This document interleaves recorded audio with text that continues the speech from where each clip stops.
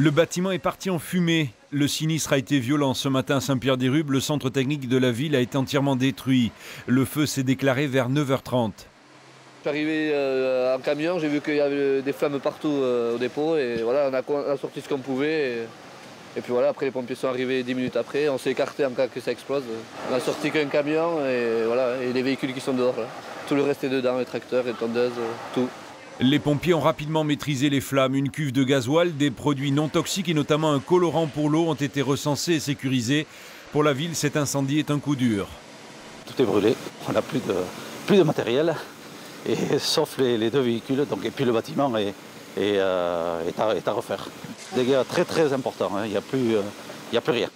Pas de chômage technique pour une dizaine d'employés municipaux. Ils poursuivront leur travail demain. Saint-Pierre-des-Rues pourra compter sur la solidarité. Plusieurs communes autour ont proposé de mettre leurs moyens à disposition.